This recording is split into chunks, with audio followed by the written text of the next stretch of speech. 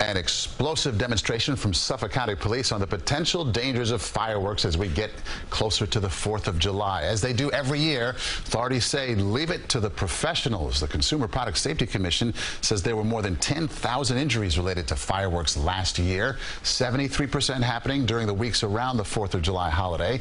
And children account for nearly 30% of those injuries. Most children who are injured are bystanders, and bystander events happen by and large with private firework displays. So, what we want to avoid is those in home, in the backyard displays. The CPSC says 43% of the fireworks tested last year contained illegal components that could cause severe injuries.